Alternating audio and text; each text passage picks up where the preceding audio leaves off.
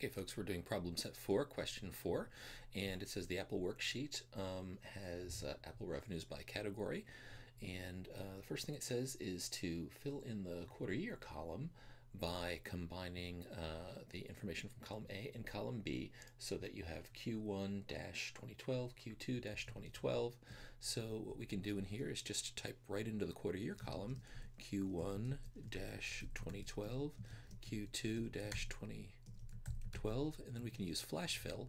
So on the Mac the way that flash fill works is um, after you've typed in enough so that Excel can recognize a pattern and sometimes you'll need to type in a little bit more but then you can go up under fill and select flash fill and it'll flash it right down there and we've got all the data so now the next part, create a two-dimensional lookup in cell D4 to return the approximate share of Apple's, or the appropriate share of Apple's revenue based on a quarter year to be entered in cell D2 and a product to be entered in D3.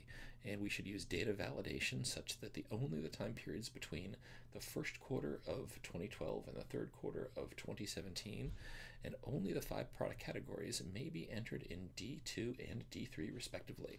And your formula should work even if the columns are uh, columns are inserted or they're rearranged in the revenue data array. And no cell in this worksheet should display more than two decimal places. Um, and any border or other formatting should be clean and consistent. So let's go ahead and take care of that.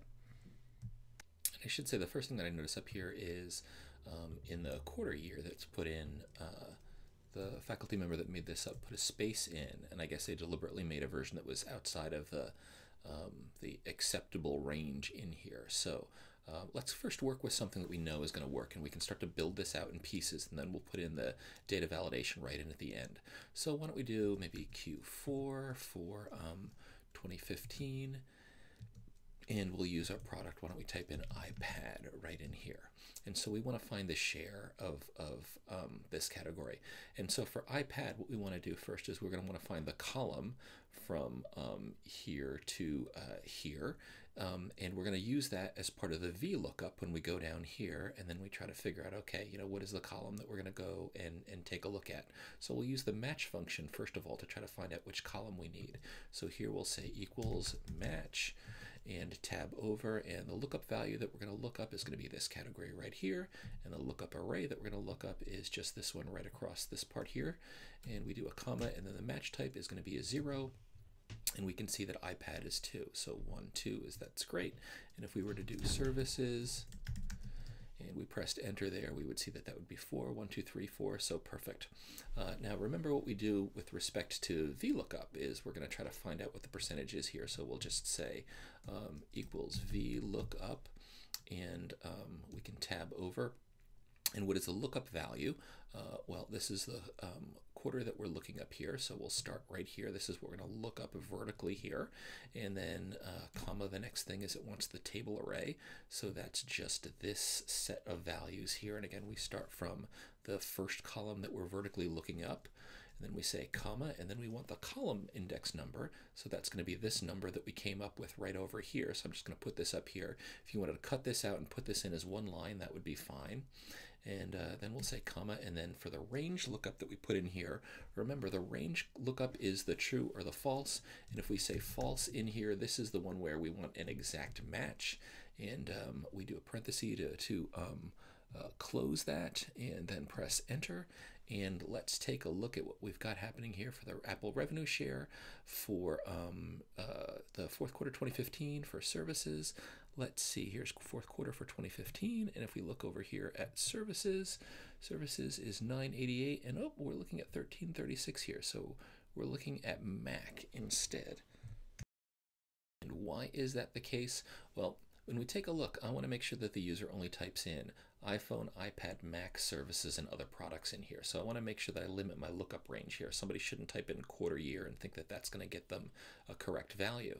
The problem is, though, that our columns are counted at 1, 2, 3, 4, 5, and 6 right in here. So what can we do to make sure that they get the correct value? Well, it's pretty straightforward. We just um, click in here and uh, we say um, we're going to get our value from uh, column E3 in here. See where E3 is? Well, we can just say E3 and we can say plus 1. and that'll give us the exact value we want. If you want to make sure, and so that's 988, which is exactly right here.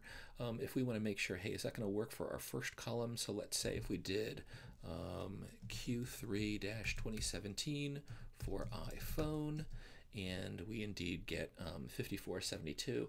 We want to make sure that it works up here. We'll do Q1 uh, 2012 and for other products and we can see we got 8.62. So all of this works great so far, but what we also want to do is we want to get that validation piece working. Now data validation is remarkably straightforward. If you just click uh, on the cell that you want to validate so the user can only type in a, a, certain set of values here. What we want to do is we want to say, hey, the user can only type in the list of data that we see right here in our quarter year. So I've clicked into D2 here. Um, I uh, was on my home page. I clicked on data click on data validation right here, select data validation, and then you get lots of different criteria here. You can also do an input message, you can do an alert error, but we're going to keep things really simple here. We'll say um, our validation criteria are going to be anything that's on a list, and the list here, again, for our quarter year is going to be everything that is right in here. So again, I clicked in source and then I clicked here and then I dragged it down to here. So that's clicking from C7 down to C29 and uh, we'll click OK. We're going to do the same kind of thing in product category. So we click in product category, we click on data validation, add data validation here. It's not going to be any value. You can put input the values here too, but list works really well. And again, that was one of the criteria that was specified. Even if you add columns in here, everything should work. So we're going to say list. And then what is our source going to be? It's going to be um, iPhone through other products and we'll click on OK right here. And again, this is another thing that we could do instead of avoiding the plus in here for the plus one, is we could have done, our validation straight through just on these guys so the user couldn't type in any extra ones, but we could have um, instead done our uh, match from this one through this one, and that would have uh, done the match, but it would have counted this as two, three, four, five, even though it would have been impossible for us to put in the quarter year in there. Either way would work. There's always lots of different ways to get things accomplished in Excel. I'm going to click on OK here. So let's make sure that this works right now. So I'm going to click over here, and again, you can pull down and see the different products in here too, or you can pull, you know, if we go over here, we can see the huge list that you can scroll through of all of the different quarters. But let's imagine, for example, um, instead of saying Mac here, I type in uh, Macintosh and I get an error message there. So let's go ahead and retry that. Um, what if I just go ahead and type in Mac instead? And of course, if I type in Mac, that works. It gets me 1424. What if I were to try to do um, instead, if I try to do 2018 in here, and we see, okay, that's going to allow me to go ahead and retry. If I click off, uh, we can see it's not going to allow me to click off until I enter a valid number in there. So again, if I go ahead and do, let's do um, Q2 of um, 2012 and that should get us to 1295 and in fact that's exactly what we see here. So um, these are uh, percentages here if you wanted to organize these um, you know with decimals or whatever but um, you know it just said to make sure that uh, let's double check what we've got in here. Whoops. Um, uh, so your formulas should work even if uh, we expand no cell in the worksheet should display more than two decimals.